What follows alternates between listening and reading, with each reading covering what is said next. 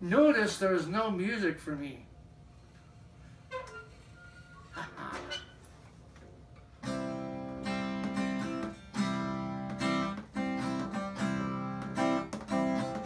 Today I met a great new friend who knew me right away.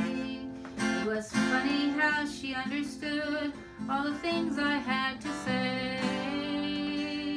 She listened to my problems, she listened to my dreams.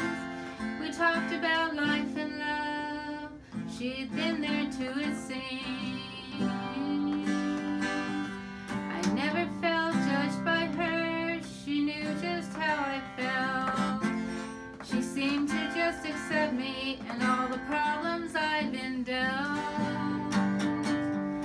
She didn't interrupt me or need to hear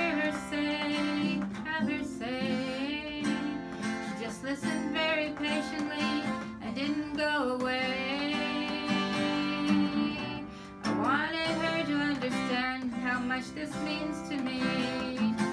But as I went to hug her, something me.